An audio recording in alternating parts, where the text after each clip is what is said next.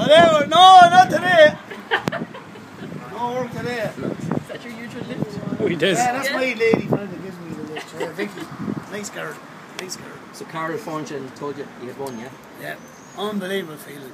I didn't believe her at first, like, but you know what I mean? Like, you're fast asleep and you're kind of half awake, and the person telling you you're not the winning the lotto, like, fucking unbelievable. I only spent, I spent two euro.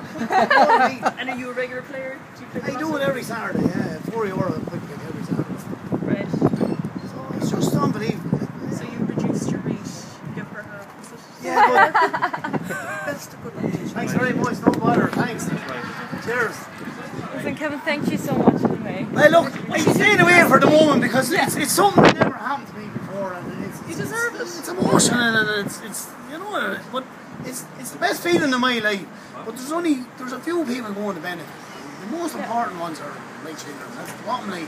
They're going to be the number one with benefits, beneficiaries. So I what are love- they into? What are they, what are you, they're into everything. My my daughter plays the flute. She's a distinction and she's only 11 at the moment. Oh, wow. Excellent. And in fairness, that's mostly down to her mother yeah. because her mother makes sure she goes, she does it. But the money is if if you ever want that, the money's always there.